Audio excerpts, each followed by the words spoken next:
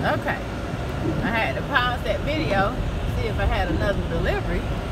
Surprised I'm even getting a signal out here.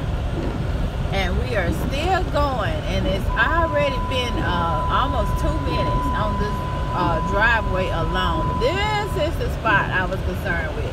He, they were so nice. They Ooh! Oh, y'all hear that water up under my car?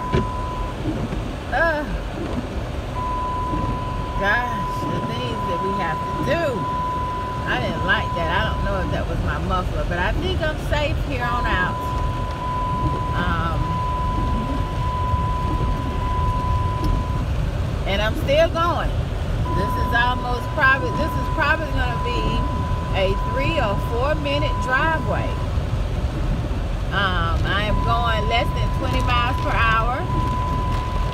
So you do the calculations on that. We are still not at the highway yet. Goodness. And they have a log cabin and it's beautiful. Um, you talk about log cabin living, country living. Um, this was about 15 miles from Publix. Um, so, okay, we're at the road. We're at the road. That was that. I would say that drive, that is the longest driveway I've, I've ever been on. And I'm going to say it's about a four minute driveway. And I would not like to be, um, drive this road with heavier rains. But they say they're going to work on it.